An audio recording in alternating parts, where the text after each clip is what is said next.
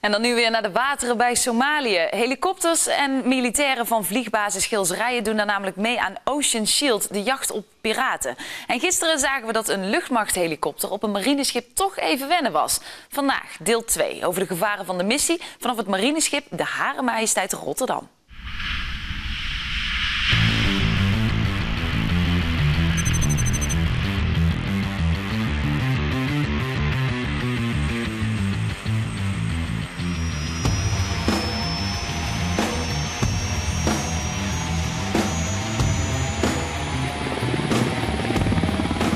De Golf van Aden is berucht. Piraten vallen regelmatig grote koopvaardijschepen aan om losgeld te krijgen. Een internationale marinevloot moet daar iets aan doen. De heli's uit Gilze zijn de oren en ogen van het marineschip Rotterdam. En de inzet werkt, want het wordt rustiger voor de kust van Somalië. Maar het probleem is echter nog niet de wereld uit.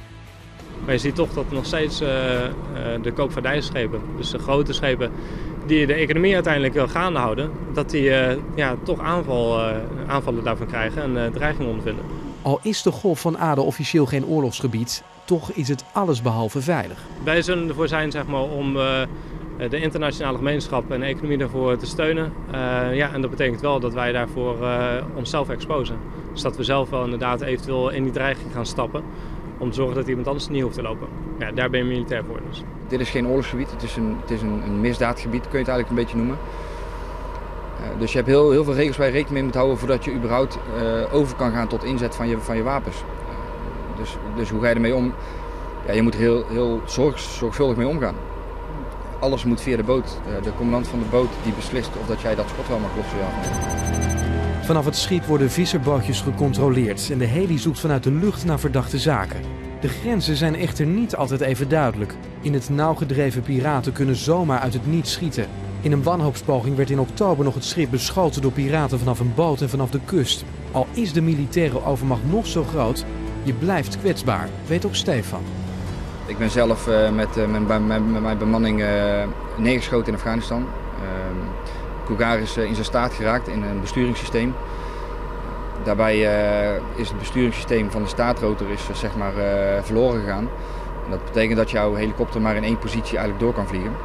Dat hebben wij 12 minuten volgehouden in de lucht, totdat we uiteindelijk op een, een Amerikaanse kleine basis een noodlanding hebben kunnen maken. En gelukkig is dat allemaal goed gekomen. Maar dan merk je heel snel dat het daar toch wel echt menens is. Ja. En hoe kwetsbaar je bent? Absoluut heel kwetsbaar. Zeker op bepaalde fases dat je stil boven een boot moet gaan hangen of, of een landing moet in gaan zetten. Ja, het is toch allemaal wat massa traagheid hoe wij het noemen. Het is een, het is een groot apparaat. Eer dat dat weer uh, op volledige snelheid weg kan zijn, ja, dan ben je toch wel even een tijd bezig. En dat is die kwetsbare tijd waar wij zo voorzichtig mee zijn. De teams van de Rotterdam kwamen dit seizoen enkele keren in actie. Zoals hier voor de kust van Somalië.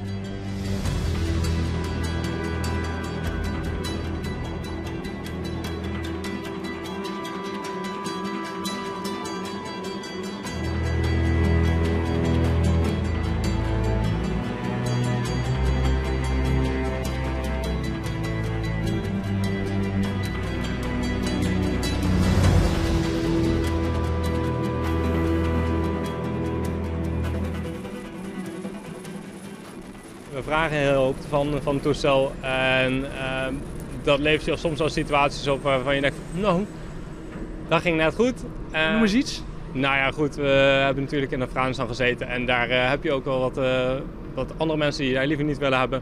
Nou, en dan ben je blij dat zo'n kist jou gewoon weer veilig thuis brengt en, en alles kan handelen. Stap je dan, als je dan voor de eerste keer weer in een heli stapt, er anders in? Omdat je de vorige keer niet zo ja, happy geland bent?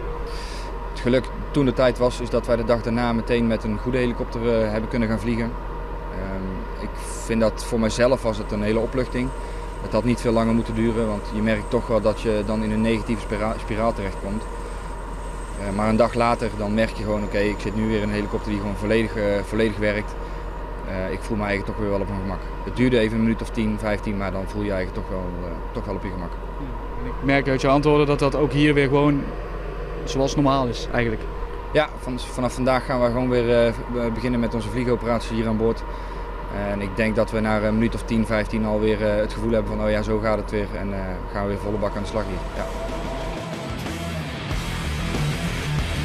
Volle bak aan de slag voor nu. Toch zal deze helikopter in de nabije toekomst weggaan. Eind 2017 verdwijnt de door haar bemanning geliefde Cougar bij Defensie.